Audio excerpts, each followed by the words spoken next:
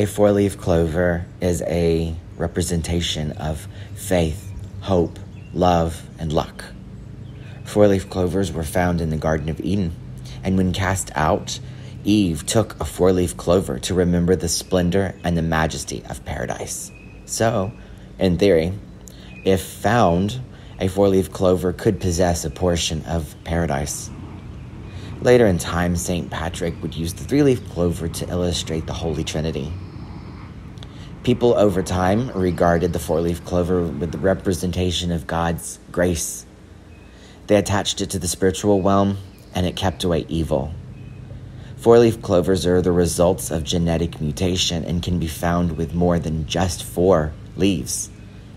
A clover rose with many petals is a Guinness Book World Record holder with 56 total leaves.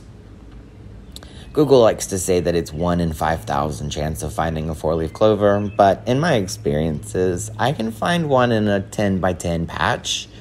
And in this video, I'll definitely show you that I found quite a few.